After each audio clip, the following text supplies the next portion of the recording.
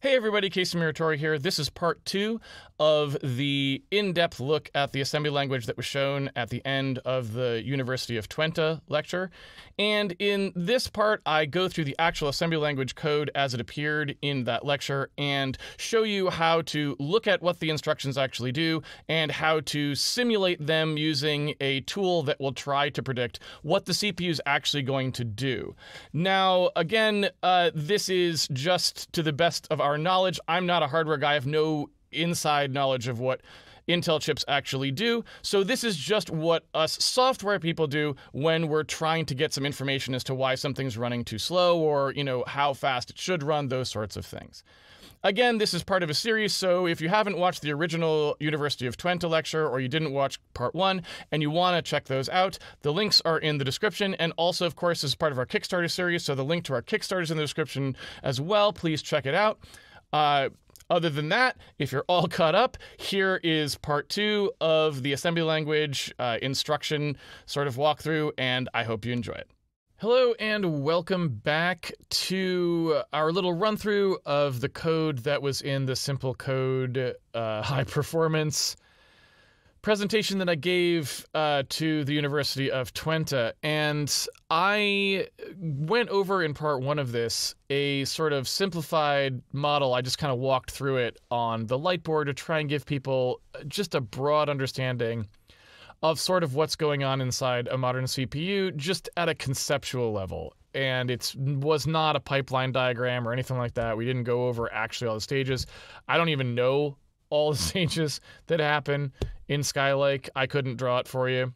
Um, and so what we did at the end of that stream was we took a look at this diagram here, which was just Intel's sort of conceptual model that they provide uh, for Skylake, and I just kind of went through, you know, roughly what's going on. Again, this is not a pipeline diagram. It doesn't really tell us how the chip works. It's just like sort of a logical flow, right? It's like here's roughly what's on the chip and roughly the direction and connection between various parts, and that's it. Uh, so if you don't have a at least vague understanding of what's going on in here, please watch the previous part because that's going to give you just a, a, little more familiarity with what I'm talking about. Because I'm going to refer to these stages front end, back end, micro op, um, and things like that, uh, execution port. And so when I'm saying those things, I'm not going to take a lot of time to explain what they are because I'm going to assume that you understood them from the previous part. Uh, and but that's so if I'm saying things like that and you missed the first part, that's where you go to get that information because you kind of got to know that stuff as we go through here.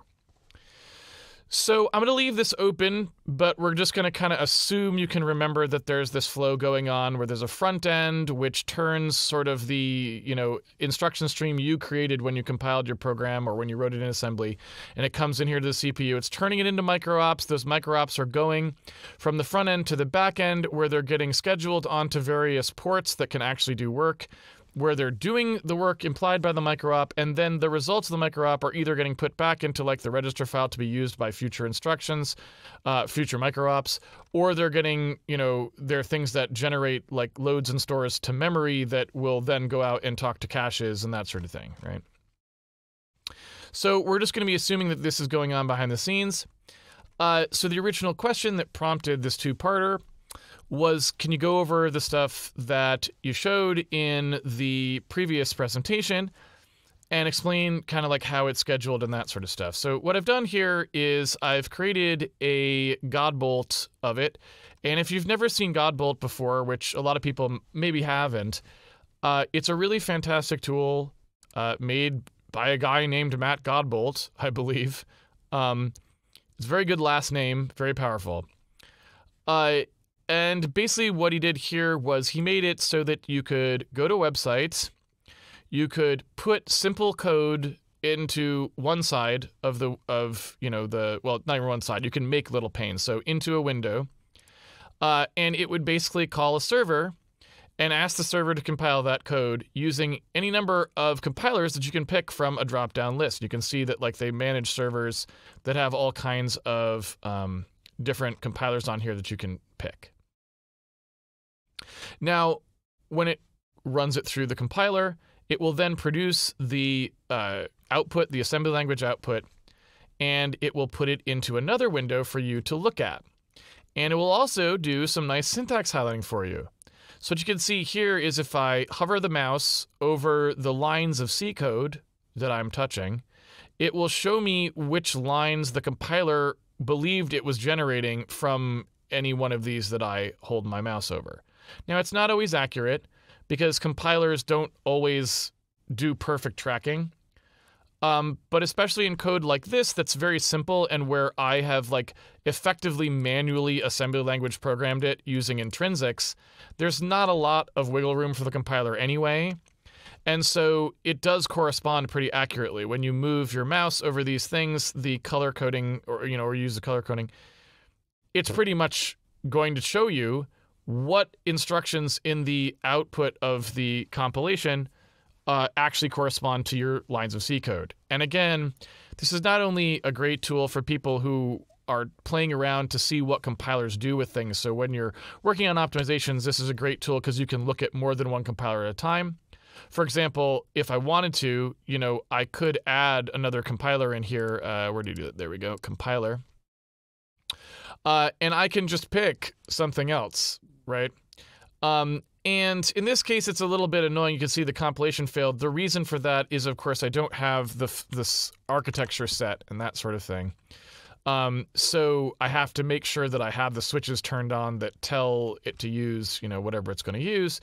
Um, but you can see here, like, okay, uh, you know, it it it will allow me to look at the output of many compilers at the same time uh, which means that if I'm curious about how different compilers might approach the same problem, uh, this kind of helps me do it. Now, there isn't much difference between these two, really. There are some things here that are not particularly good that it's doing, um, but doesn't matter. And point being the actual instruction stream is pretty similar. Uh, you can see here that it's you know fairly straightforward how it's doing it. There's some things with memory operands that like that are a little bit odd, but you know, on the whole, right? Um, it looks pretty good. Now, I don't. It will it be smart enough if I do an O3 to get those out of there? No, weird. All right, sorry. This is the the weird like fixation brain focusing in on those things. I'll ignore that for now. We don't even need to talk about that. The point is, Godbolt is a great tool for this. Uh, it's very, very beginner friendly because you don't have to be programming in intrinsics or anything like that. You can just put regular, simple C code in here, add a compiler, play with the switches, see what the assembly language comes out, and it's just really good for learning. Because one of the best ways to learn assembly language and how different things work is if you know a language like C already, you can just put that like what you want to know about, like how does it make a for loop. You can just write the for loop in C, and then in Godbolt it will just show you what the assembly language is for the for loop on the other side. And that's such a great way to learn because it's like a tr- it's like Google Translate, right? It's like you can just put in the language you know and see it pop out the language you don't know, and by experimentation you can learn a lot that way, right? So it really helps in terms of like learning the structure of assembly language and helps you see how certain things uh, constructs that you do understand translates into this language you don't understand, which helps you to build the understanding over time. And then, like I said, it's also a great tool for experts too, because it's just fast and easy to see the results in many compilers. And so it's just a really convenient way to look at what the compiler is doing with your code when it's not, you know, when it's not running fast enough and you're like, what the heck's going on? It's great to be able to go in here and see it across multiple compilers and tweak something and see it immediately change. So you can learn for the expert.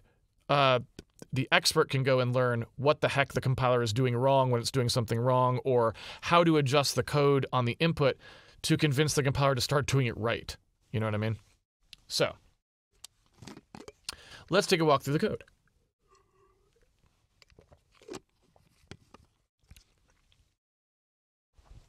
On the left side here, you can see the code that I showed uh, in the presentation.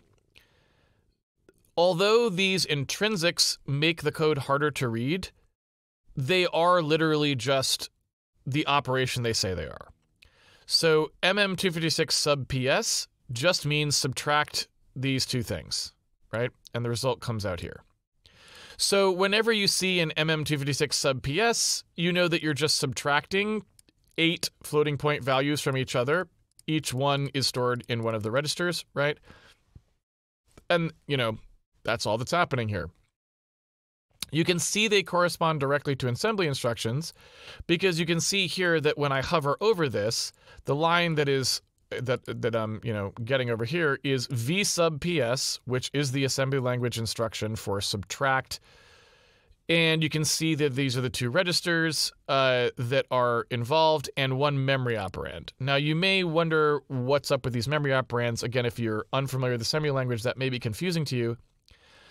The way that Intel assembly language works, the machine code that the processor reads, in general, you can take sometimes you can take four, uh, depending on the circumstances. Right? Uh, you can actually see that happening down here. Uh, but pretty much all the time, it there's you know two or three inputs to everything that you do. Right? So you have an instruction like subtract you have some number of inputs here. The first one that you give it is actually an output. So it is something you're telling it. You're giving it the name of a register, in this case YMM8. You're giving it the name of a register, but that register is is not necessarily going to be used. It may be used if the instruction uses the destination as well, and that happens sometimes. Uh, for example, this is an example of that. Here is a regular integer add. It's going to take this register, ESI, and it's going to add negative 1 to it. And you can see that it didn't say add ESI, ESI, negative 1. So when you are doing an operation that has the same source and destination, right, they are typically elided and just put as the first one. Now, that's not really a convenience feature what that is, is actually the way the processor used to work entirely. Originally, there didn't really used to be instructions that took a destination. They always just took two sources, and the first source just got overwritten with the answer. So, like, you, the first parameter was always in out, it was always a source and destination. Um, but later, as they went, because it's inefficient in code streams to do that, uh, you end up with inefficient encodings of series of operations. If you keep destroying your sources, you end up with lots of spurious copies. Because to copy something and then do it because it's going to destroy it, right, and so on. Um, they eventually added ternary and then quaternary, like uh, you know, I don't know if you normally would call them that, but things that take three registers or three operands and things that take four operands got added. So when you look at v sub ps, what you see here is this is a pure destination. It will not read from YMM8. It will simply overwrite it. Uh, and then these two here are the actual things that are getting subtracted. The first one is a register. The second one, second one is a memory operand. A memory operand is just when you're going to not bother moving something into a register first. It will just do the operation directly out of memory, right? Um, and when we say memory, we don't really mean it. What we mean is usually the L1 cache or the L2 cache or something, right? Always the L1 cache in a sense, depending on the circumstances. But so what we're usually doing here is we're just saying, look, get it out of the cache, but don't put it in a register because I'm never going to ask for it again, right? I'm just going to do an operation with it.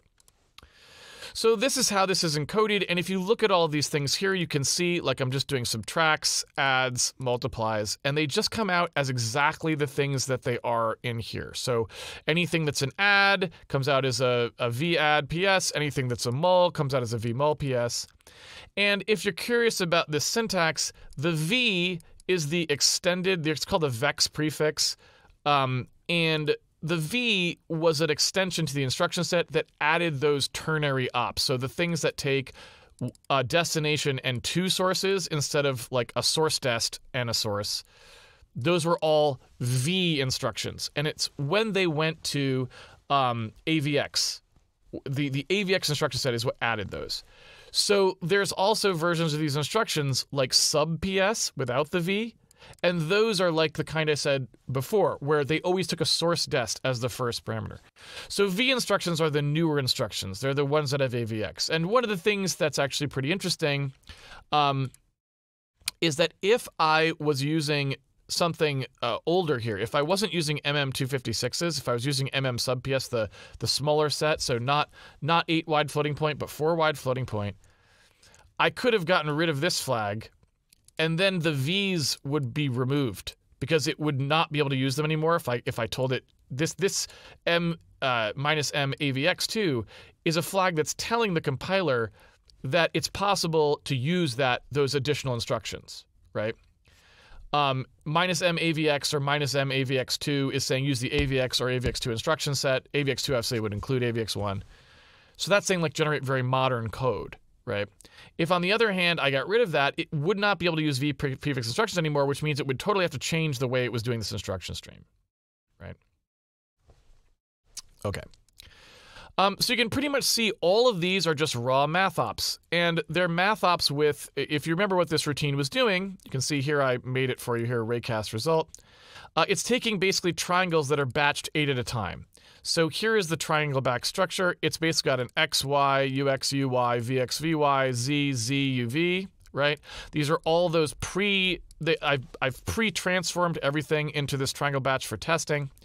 And it's exactly the same, it looks exactly the same as if it was one triangle, but actually because these are M256s, each one of these things is eight values. So this is eight X's, eight Y's, eight UX's, eight UI's, eight VX's, eight VY's, eight Z's, eight ZU's, eight ZV's. Right. And so what we're doing in this loop is we're just doing eight triangles at a time. And so these subs are exactly that. They take uh, what we load up here. So we load up these things. These these are the relative uh, x y directions of the ray we're casting or whatever it is that we're doing, right? We load those up, and in here we uh, actually that that's probably just the um, direction relative x, direction relative y. I don't remember exactly how those were encoded. You have to go back and watch the lecture, uh, but they're probably just like the point relative to something, you know, whatever it is, relative to the grid, who, who knows, right? Um, so anyway, doesn't matter. The point is, these are the values that the ray, uh, for the ray cast. This is saying where we're casting. Uh, and then what we're doing is trying to make it like, you know, here we've got an, you know, we're subtracting those two the from the base values. We're trying to do is make it relative to the triangle, right? Then here we compute the UV and Z, just like I mentioned in the lecture, right? And that's just a bunch of multiply adds. And by the way, if uh, in the witness we weren't really using AVX, uh, so if you really wanted to fully AVX this routine up, I believe you can actually do an fmad here, which does the multiply and the add in one step. So we could actually make this even better. Uh, it's it's actually somewhat inefficient uh, the way it is now. Uh, you'd save a cycle uh, doing that and it would be slightly more precise as well. Then at the end, we do our comparisons, right? Uh, so we basically do a bunch of comps, and what comps do is they basically take two values, just just like uh, you would have in you know non-wide instructions, non-AVX instructions. They basically do comparisons between two values uh, in, in each lane, because you know you've got eight floating point values, right? When you do the comparison, what it does is it sticks all zeros or all ones into each of the 32-bit lanes, depending on the result of the comparison. So like if it was less than or equal to it, it'll put all ones in there. If it wasn't less than or equal to it, it'll put all zeros in there, right? So we basically do our comparisons this way, and we build up a little comp vector that basically says for all eight things, we now have a mask that's like ones and zeros where they should be. And then we use the blend v, which basically is the thing that combines two values based on a third value, to keep all of the best results from this raycast. So we're raycast against eight. And I explained all this in the lecture, but just to refresh your memory, that's what's going on, right? And like I said, what you can see here is essentially this stream just comes out almost exactly on this side, right? There's a couple of things that are slightly different, but the instruction stream is basically exactly the same. All of these are literally just the direct, a direct copy of what you see in here. Um, and we get down to this here, right? This LEA RDX. Uh, that's looking a little bit different, right? Like, what is that? Who knows? You know? Well, if you look, you can see that each one of these math ops is operating off of the register RDX. What RDX has what they've done with RDX here is they've loaded the pointer to the triangle batch. So this pointer right here, that's the pointer to the triangle batch where we loaded out, right, all of our vari- all of the um, data for the triangle batch. That RDX value uh, is just the pointer. So each of these is loading out the values, like these values. Each of these is just loading out the values, right, as they're needed as memory operands. So after they're all loaded out, this LEA RDX RDX plus 288, that instruction is just this plus plus pointer. Because remember, the pointer has to advance by the size of this structure. This structure here is 1, 2, 3, 4, 5, 6, 7, 8, 9 times 32, right? Because each one of these, if, if 32, it takes 32 bytes to store eight floats, right? So each one of these MM256, 256 bits, 32 bytes, right? So 9 times 32, that is where I get the 288. So this LEA is actually just an instruction that advances my pointer by 288. The reason it is called LEA is because it, oh, wow. I didn't even know this did that. Look at that. Look at that. Oh. How, oh, wow. Look at that. This is great. This is Great for beginners. It now shows you, if you hover over an instruction, what it does. Look at that. That's great work. Such a good utility. Such a good utility. Anyway, uh, the reason that it is called LEA is because that's short for Load Effective Address. Load Effective Address means it's going to give you something, uh, uh, sorry, you're going to give it something on the right side of the assembly language instruction and it's exactly like these memory operands, right? It's exactly like these memory operands. And what you're going to do with it is instead of using it as an operand, the thing that's at that address, just give me the address. Whatever the address is, put that actual result in here. So it's saying add 288 to RDX, whatever the resulting address is, put that back in RDX, which has the effect of advancing RDX by 288 bytes. So it's going to do that. That's exactly what that piece of, of uh, code does there, right? It's then going to do all of this. So there's our comps, our ands, right? Our blends happen here, right? There's those two blends that combine the results. There's the add that advances them. And then we get to the end of the loop. And here is what happens at the end of the loop. Uh, what you can see here is there's this thing add ESI1. ESI is just going to be the thing that's holding this count, right? Um, so it's decrementing the count by one. This doesn't have to be add ESI negative one. It could be sub ESI one. Uh, either way, just has to do a decrement. And then the JNE is the thing that says jump if not equal to zero, right? So in other words, if you haven't gotten to zero yet, you're going to jump back up. And if you look at where that is, it's right here. So we're going to jump back up to uh, zero three. Now, I'm not actually sure why it's done this weird shuffle here. You can see that there's stuff that doesn't really need to be done, but it did it anyway. Um, and I do not know why. So I might need a second here to figure out why. We don't care. It has nothing to do with what we're talking about now. But I'm just looking to see. See, th- this part here, when we finish this loop, we're going to skip it. But if we don't enter the loop, I'm assuming we do it. Yeah. So we do that op if we hit here. So what is that op? It's moving into YMM0, which is the thing we're going to fill. So that's what we put into best index.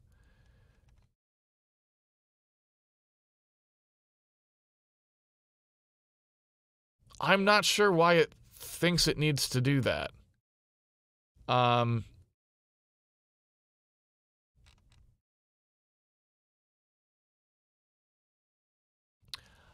I don't know why it did that. It decided, and this is pretty strange, but this is YMM0 here, right? it decided to insert a I mean what I would consider a spurious load. I mean, look at, you know, for those of you who know somebody out there, maybe you can catch what I'm missing. But on the entrance to the routine, right? Uh the the jump here, they just it decided to jump around this mov of YMM0. It could have just moved this jump up above I'm sorry, it could have just moved this this move up above the JE and then it wouldn't have had to have this extra one here. So this I haven't looked at it for very long, so I don't want to call. I don't want to cry foul, but that just looks like bad code gen to me. Uh, maybe there's something else going on there. Uh, I don't know, but weird. Anyway, we don't really care about that for purposes of what we're talking about, so we don't have to worry about it. All we're looking at is this. Uh, the reason all we're looking at is this is because this is the hot loop. This is the thing that's getting done for all the triangles, right? So it's doing them eight at a time. Each pass through this is doing eight triangle intersections for our raycaster. And we're just going to keep jumping back up to the beginning until we run out of triangles. That's what we're doing. So you can see it's very simple. Uh, there's not much to it. And so I guess now might be a good time for me to pause just briefly and make sure everyone understands what's going on here. And I'll try to take any questions that you have now before we switch over to looking at the scheduling uh, of of these operations, which is kind of the end because that was the that was the original question that prompted this. So we've walked all the way through it, and now we're just going to go through and see how they're scheduled. Okay, so now uh, we're going to get to the sort of the conclusion of the question that was asked, which is how is this stuff scheduled? So now we have an idea of what's going on in the chip. Remember that comes from here. Um, we know what our instruction stream is. So this is the stream that we're handing to the processor. It's reading in the bytes that encode this stuff here. Uh, and we know that what's happening is this part, this front end part, it's going out to this L1 instruction cache. It's saying, can you give me some instructions? Uh, at some point in the program, it's going to get to this part of the code. So these are the instructions that are going to come back. This is the memory that's going to come back, right? It's going to come through here at 16 bytes a cycle. Now, how many bytes per cycle is 16 bytes a cycle? Uh, I don't know if I can turn on uh, code bytes. Yes. Uh, these are the actual bytes. So you can see them there. That's what's being loaded. These are actual bytes, right? It's memory. That's what's going to get loaded. Um, they're usually turned off because they don't help you at all, right? They're just there for the machine to encode. But if you care, that's what they are. So those bytes are going to come in here at 16 bytes a cycle. They're going to go through uh, this process of turning them in to microops by decoding what the uh, what the instruction says to do. Those microops, which we don't know what they are yet because we haven't really talked about what this turns into in terms of microops, but those microops are going to flow through the system to the back end where they're going to get slots assigned to them in the register files using the register alias table or allocation table, whatever you want RAT stand for. They're then going to flow through when they are ready to be scheduled and there are ports available for them to issue on. They're going to go into these execution units and they're going to execute. Uh, and we are then going to have actual work done on our behalf, right? So, how do we start to look at how this works? Well, uh, the first thing is during the Q and A, uh, we kind of snuck a peek at this already. So uh, the cat is already out of the bag, but there is a fabulous uh, site called uops.info that if you program x64 processors, it's absolutely indispensable and fantastic, and I love it. And you can go to this part that's called table and click on open table. Uh, and then what you can do is you can enable whatever processor or instruction set and whatever that you want. So in this case, we're using, you know, like AVX and, you know, that kind of stuff, right? SSE. We're not using FMA or AVX512 or any of these things at the moment.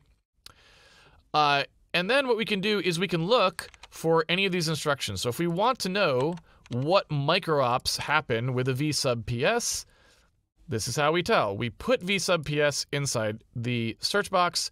We look at the uh, particular microarchitecture, and we could see multiple ones. So suppose we want also to know Zen 3, I can turn that on as well. So here's what happens on the AMD, here's what happens on the Intel part, right? And we just read off for the instruction that we care about. Now, which instruction do we care about? These instructions are coded by what the operands are.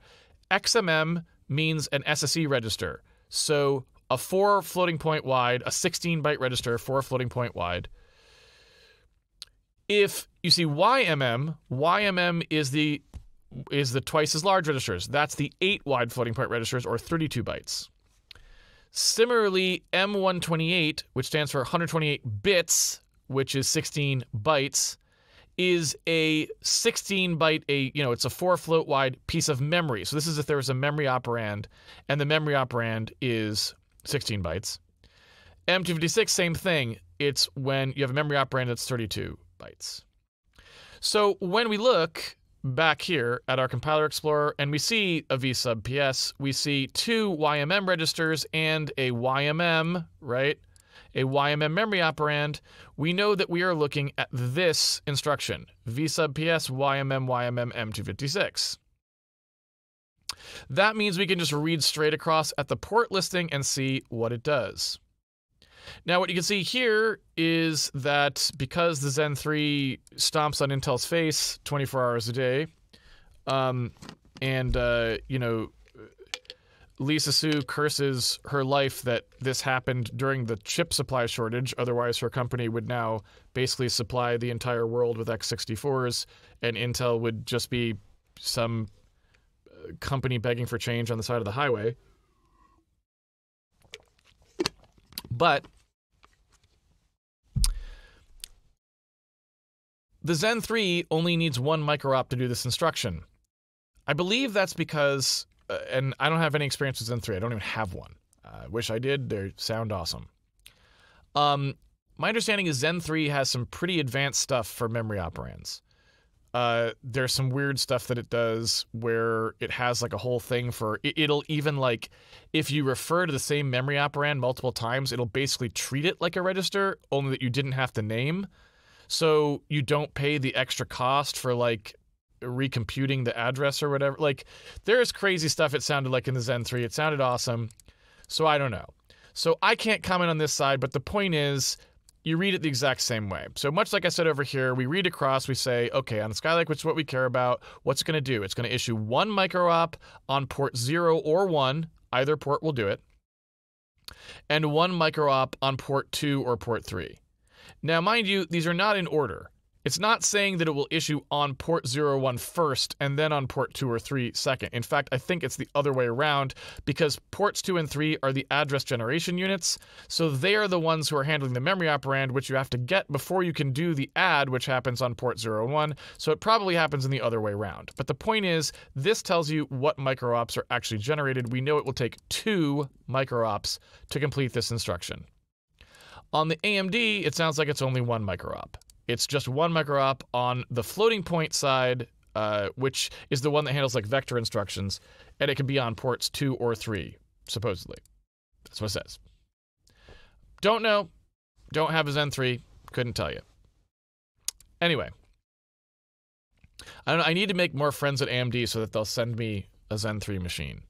But back in the day, let me just tell you, back in the day we had it so good.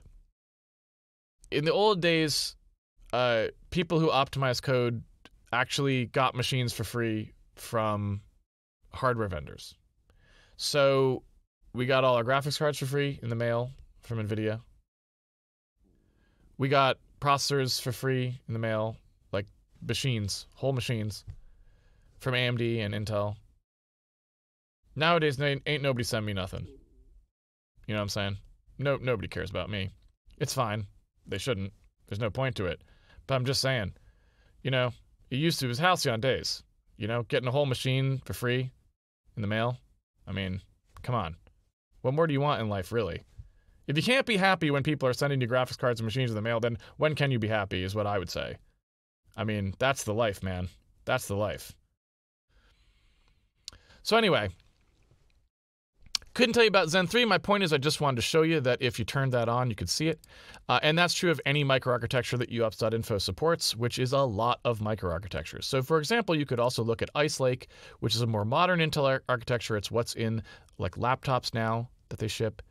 Uh, and you can see the difference between them. So in this case, you know, looking across, there isn't, I don't see much. So it looks like they haven't changed that one very much. And that's because Ice Lake is very similar. Uh, there's not a lot of changes between Skylake and Ice Lake, but Ice Lake does have slightly different execution ports. So on other instructions, there would be a difference. Uh, it, it, added some some extras. So uh, if you take a look, we now know uh, if we were to just look at our compiler stuff, we're like, oh, okay, so each one of these, and you know, uh, it, it is actually true of anything that does a memory operand. It generally is one micro-op for the memory operand and one micro-op for the uh, actual floating point operation. Now, a micro-op is not a cycle. It just means what's flowing through the pipeline. So, you know, two micro-ops, you know, two, two, two, two, two, two, two. Oh, sorry, one, one, because this one doesn't have memory operand. Two, two, two, one. Uh, well, I assume that's one.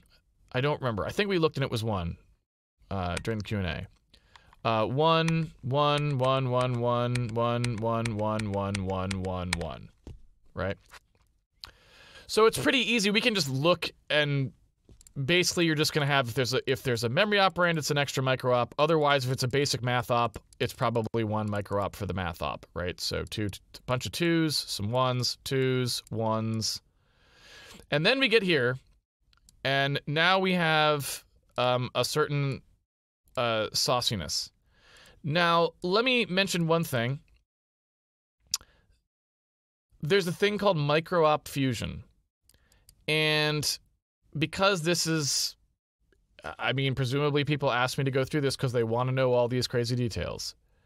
This thing called micro-op fu- fusion, and what micro-op fusion is on Intel hardware is the fact that certain micro-ops don't count against your penalty, right? Like, so when you look at this thing, you know what I'm saying? Um, and you look at how these UOPs are flowing through the pipeline, when two microops are fused, I believe they count as one through the pipe. So when you see something here like four UOPs or five UOPs or six UOPs as like a restriction, meaning you can't get more than that, or like here where it says four UOP going to the register alias table, for certain purposes, and far be it for me to say what they all are because I don't study Intel architectures nearly enough to know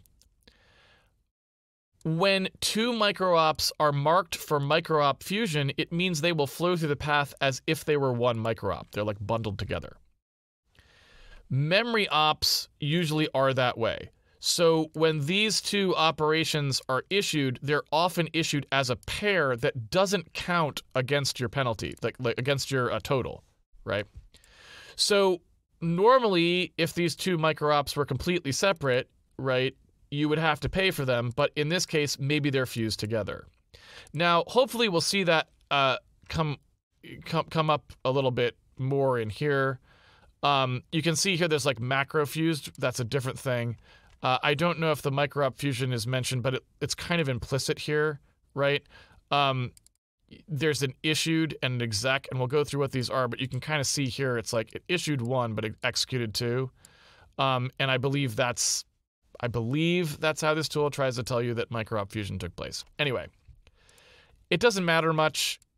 You don't have to understand that for a lot of things. Uh, but it's just when you're starting to talk about micro-ops and how many of them you can do every cycle, because there's these limits, four, five, six, etc. Micro-op fusion is a way to get around those limitations because you can get you can snuggle in some work that wouldn't have been true if they weren't fused. And you know, this is why bringing it back to earlier when I got uh, kind of worried. When we looked at this compiler over here, I may have said, oh, you can add another compiler, right? When we looked at the other compiler, I saw this. And what you can see happening here is it's doing a load to load the uh, contents into these registers first and then it's doing the operations on them. So instead of using a memory operand, it's actually got an instruction. That worries me because you saw me get worried about it before. Why did it worry me? Well, there's two reasons. One, each one of these instructions now counts against my decode total. So when I look back here and you see there's these decoders, well, there's only four simple decoders in here that these are going to go through. So I can only decode four instructions per cycle. Well, each one of these counts as an instruction. So here we started doing subtracts right away. Whereas here we spent one entire cycle doing nothing other than decoding these instructions, right? So that's a bottleneck right there. Now, there's reasons why there it, it's going to be even slower than that because these are memory operands, but we're going to ignore that for now. I'm just talking about the instruction part. So generating extra instructions for no reason is usually very bad because it starts to put pressure on the front end that didn't need to be there. And then there's the micro-op problem. Each one of these generates one micro-op at least, right? Um, a vmovaps, if I look it up, is going to generate a micro-op, right? Uh, now, in this case, uh, what have I got? I've got a YMM register and a YMM memory address. So I look in here and I say, okay, uh, it's it's this guy right here. It's one micro-op on port two or three. Well, the problem now is that that's a micro-op that's free floating. It's not fused. That means the sub PS, right, that you would have done uh, here and here, right? Before, we were doing those as one thing. So those operands were, uh, sorry, that's wrong. Here and here. So before they were fused micro-ops and will pass through as one micro-op. Now they're two separate micro-ops, which again doubles the size of this thing as it passes through this system each of which has a cycle, a, a count per cycle limit. Every cycle, it can only send four down this path, five down that path, six down this path, right? Four down that path. So if you're just being bloated and you're sending all of these extra micro ops that could have been fused but you didn't, you're putting a bunch of pressure on the front end that may mean that you will get less performance because even though the back end could have done the work that you asked for, it didn't get there in time, right?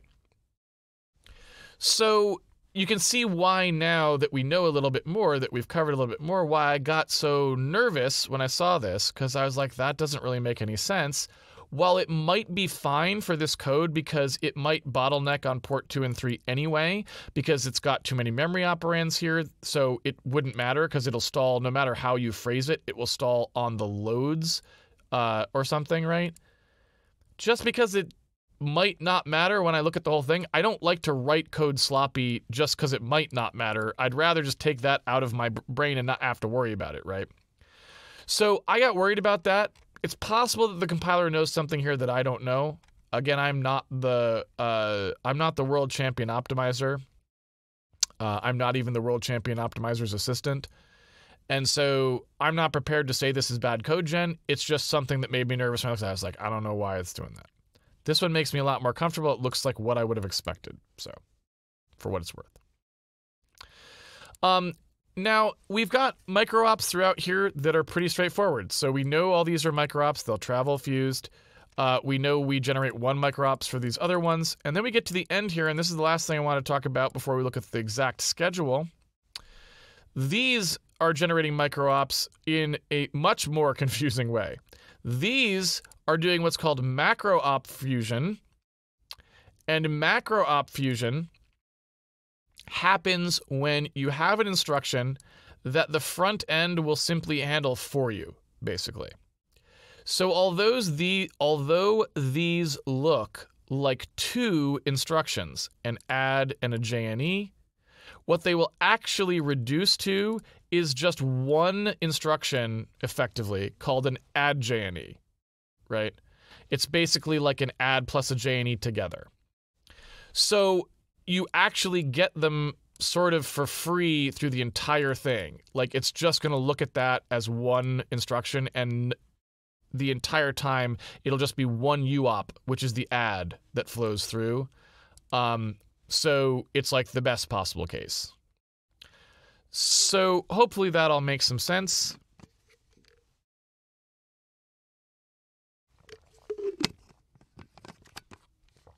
Now let's look at the schedule. How is this going to be scheduled? The easiest way to do this is just mentally. Uh, you can just think about how it's going to get scheduled. So you're like, okay, the subs happen, the muls happen. I know which ports they happen on. and I can think it through. You can usually just do this with a little you know, pencil. It's not that hard.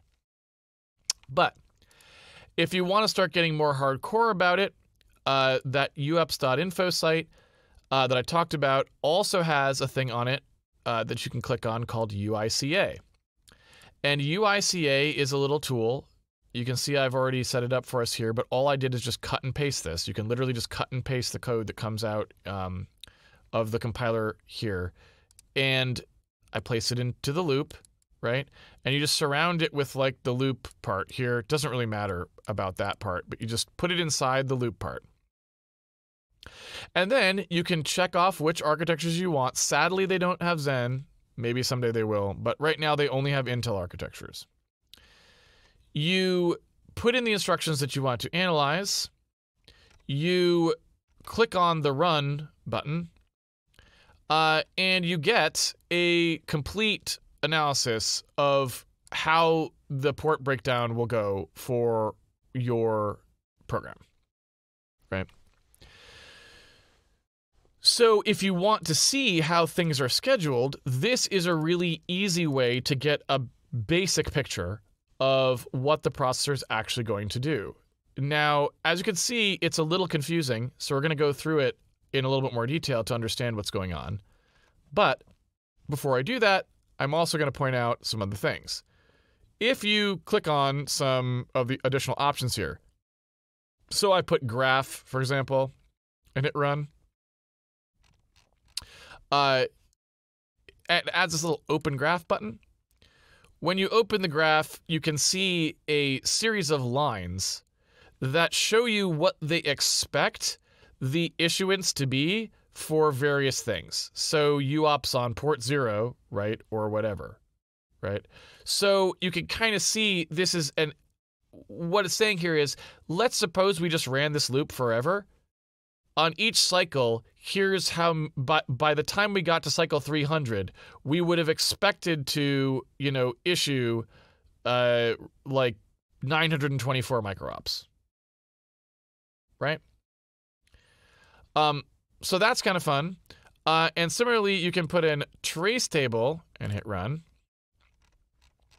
And trace table gives you, I I think, I don't know, it gives you, I think, what the original asker, Buddy's Pizza, the original Twitch ask, uh, or a person who asked on Twitter, I should say, uh, whose handle on Twitch is Buddy's Pizza. I think this is what maybe they were kind of wondering about. This graph shows you what the processor is going to do as far as we know. As far as we know. It's going to take this vsub. It's going to go into the dispatch queue. It's going to issue it. It's going to take some time to do stuff. It's going to dispatch it. It's going to take some time to do stuff. It's going to be done, which is the E. Uh, wait. No, sorry. It's going to be one, two, three. Yeah, yeah. It's going to be dispatched. It's going to, so that's going to actually do it. It's going to be executed, and then it's going to be retired, right? And this is literally showing how as the processor right now the processor's in like a cold state. So all the ports are open and all the queues are empty. As we start filling things in right you can see us get to the point where we loop back around. By the time we're looping back around the same instruction which is this instruction that was up here right you can see it's exact same place. We jumped and we're back. Is now going to take much longer right? The reason it's going to take much longer is because the processor is full of crap that it's still doing from the previous iteration of the loop. So the way that these tools work is they try to figure out how long they have to run this thing before they get to their like natural width, right? And at some point that natural width is hit, and when that natural width is hit, you know basically the run speed of the algorithm were it to be run in the processor for a while, right? And it's like something like this. You can see it's like not really getting wider anymore. You know what I'm saying? Uh, and so if you were to look, and and this is not, you know, again, this is like the 15th iteration of the loop. If you were to look at the difference between when you started the first uh, instruction on the 15th iteration of the loop and when you uh, started the last one, the number of cycles one, two, three, four, five, six, seven, eight, nine, ten, maybe, right? The number of cycles between the start of that uh, loop and the end of it uh, is what you expect your cycle time to be for the loop. That's how long it takes to get to the next, to, to start issuing the next instruction. Uh, and if you look here, it gives you that number. Uh, 10, right? I mean, 9.3. Who knows? It depends because it's not always even, right? Like sometimes the port will be free on every other cycle or whatever, right? On every other iteration or something like that. So this value, predicted throughput, is the number of cycles that it expects you to take to run one iteration of this loop assuming that you are running lots of iterations of this loop so that it's had time to fill the whole pipeline with work. So the latency of this loop may have nothing to do with 9.38, meaning the time between when you start the loop and when you end the loop may have nothing to do with this. But when sustained, when looped, just run over and over and over again, assuming you're not stalled, like assuming that everything's hot in a cache that's fast enough and whatever, the actual execution of the instructions should take about 9.38 cycles, so let's say 10 cycles from start to finish. Um before it gets back up to the previous to, before it jumps back to the top of the loop and starts again. Now it hasn't finished, it hasn't retired all those instructions, it just issued them all. And then it goes back and issues some more, right? So by using this number roughly you can multiply by how many iterations of the loop you expect to do and roughly estimate what your cycle count will be for doing the batch. So if you're running a thousand batches through it, you would multiply this number by a thousand. That's how many cycles you would expect it to run in optimal circumstances. Right? So that's the idea. Now, how do we read this thing?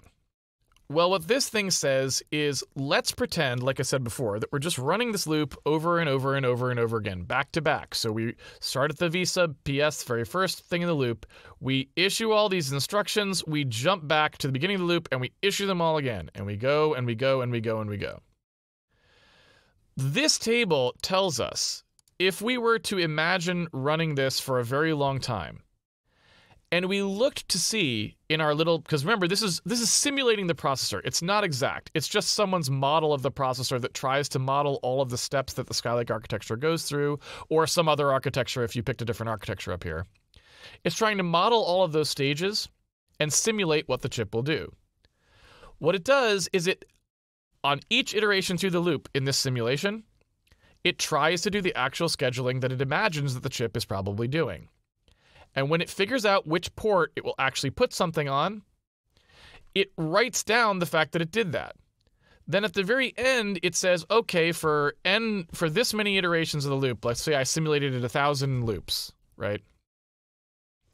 I take the percentage of the time that I scheduled it on each port, and I report that percentage here. So this means that this was scheduled like 44% of the time on port 0 and 56% of the time on port 1, right? And that's the subtract part because that's on port 0 and 1.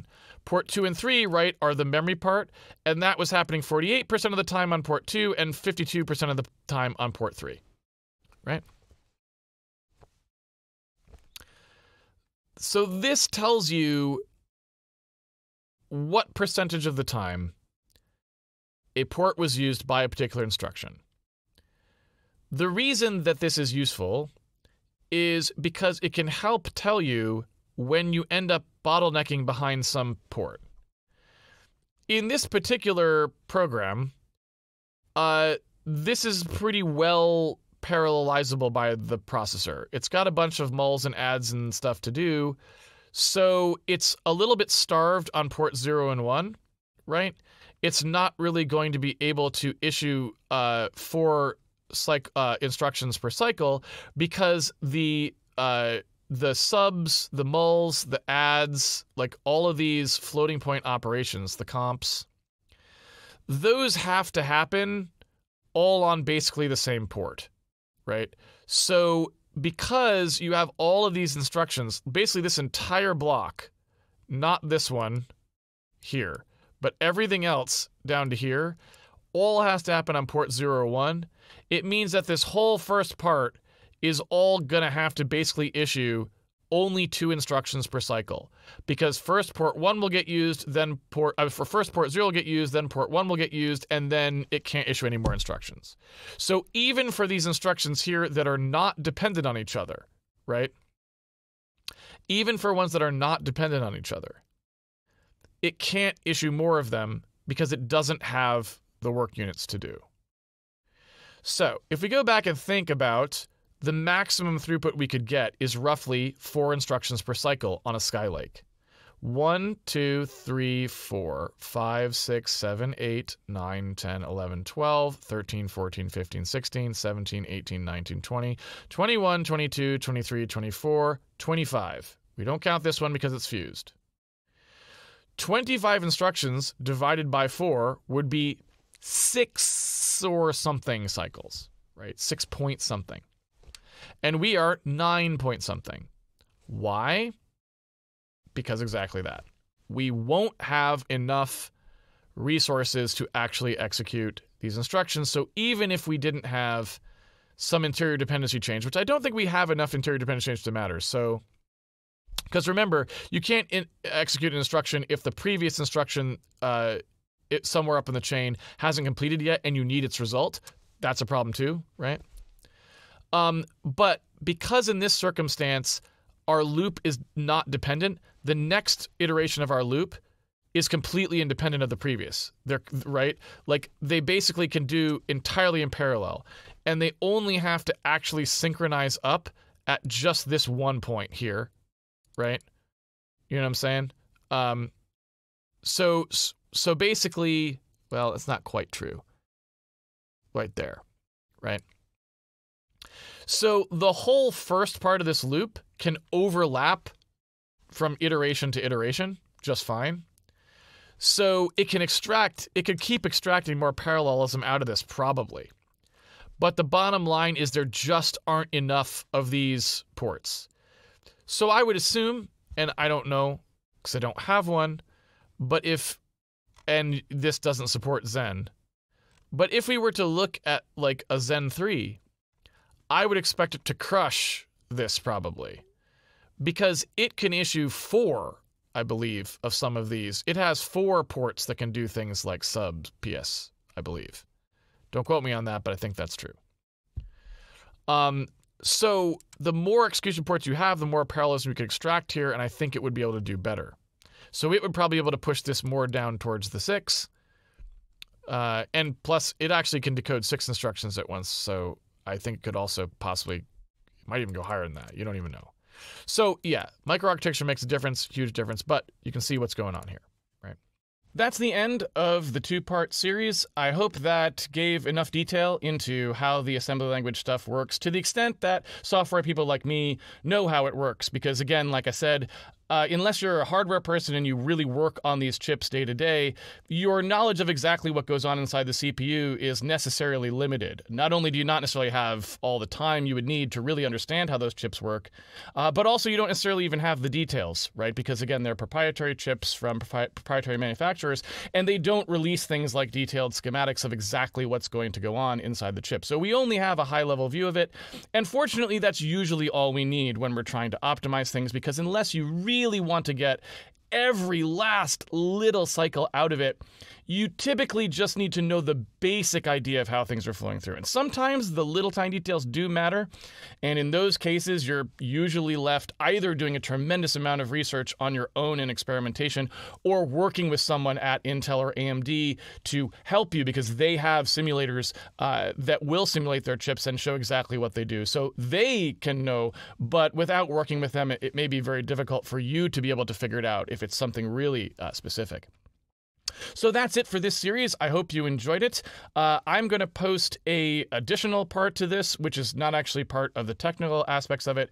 That's just uh, folks asked about our Meow the Infinite book series as part of it because since this was all part of a Kickstarter uh, campaign for it, um, people had questions, and some of the questions were fun, and some of the answers I thought were fun. So I'm also going to put up a video after this one that just kind of has a collection of those questions for folks who are interested in it, and especially for people who've already backed the Kickstarter, um, just to thank them for their support and to have you know some of those questions available for people who didn't catch the live streams because live streams you know are, are sometimes very difficult for people to catch if you even know that they're happening. So thanks everyone for watching, and I'll be back here with that uh, in the next video.